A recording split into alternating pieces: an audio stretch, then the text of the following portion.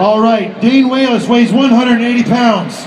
He's going to carry said sandbag weighing 380 pounds. Does that not make you want to make a little noise, Toronto? Here for Dain Wayless. Come on, Dain. Here he goes. He's got 30 seconds to put the bag where he wants it.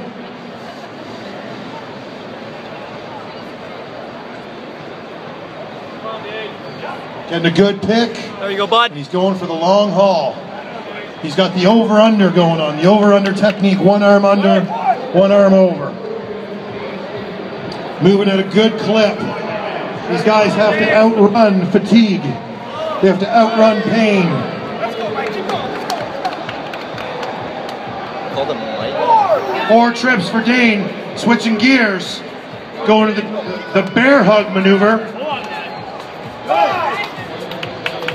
Notice some of the differences when we see an athlete like Dain compared to what we saw RJ just earlier. Dain making it look real smooth and sexy.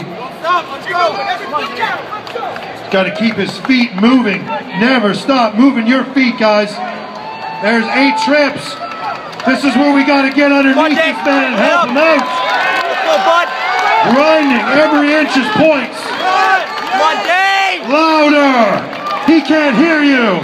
All the way. What's the what's the count there, Ryan?